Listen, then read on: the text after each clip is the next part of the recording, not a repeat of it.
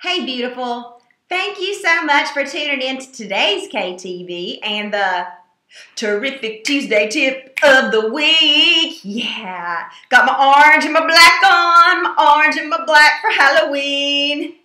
We are continuing with our Halloween theme today where we are going to talk about ooh, the scariest part of my business. The scariest part of my business. Now, what's interesting about this is this part of my business strikes fear in my heart.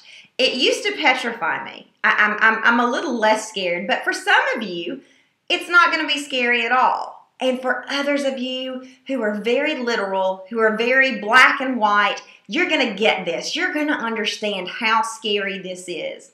But I caution you not to overlook this because this is an area that if you do not pay attention to, you are likely to miss a key ingredient, a key message, a key something to your success. Before I tell you what the scariest part of my business is, I want to share a story with you. Picture it New York City, October 2011.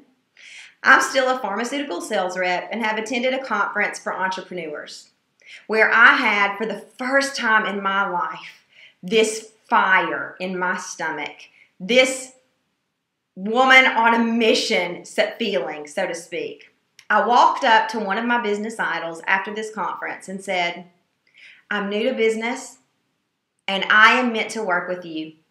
I don't even know if you work with people one on one, but I am meant to work with you.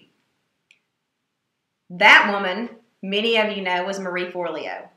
I didn't know what working with her one on one would look like. I didn't know what it would cost, but I knew that if I was going to make my business a reality, if I was going to make it more than a Saturday babysitting job, if I was going to make it more than this pie in the sky, I had to trust this feeling that I was meant to walk up to her and I was meant to work with her for a year. And so that's what I did. For the first time in my business, I trusted the scariest part of my business, which is my intuition.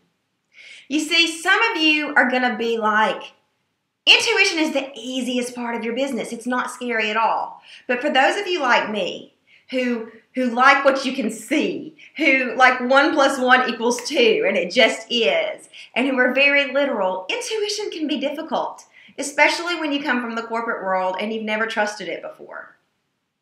What I can tell you is, after trusting my intuition, after being scared to death, after wondering, how in the world am I going to pay for this amazing experience?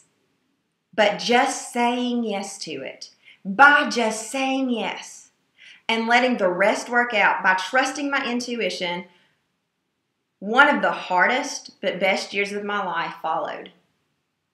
And as a result, in October of 2013, I can tell you that the connections I met through working one on one with Marie Forleo, the business knowledge that I learned through not only Marie, but through the other women in the mastermind, the friends that I made in this experience changed not only my business, but my life.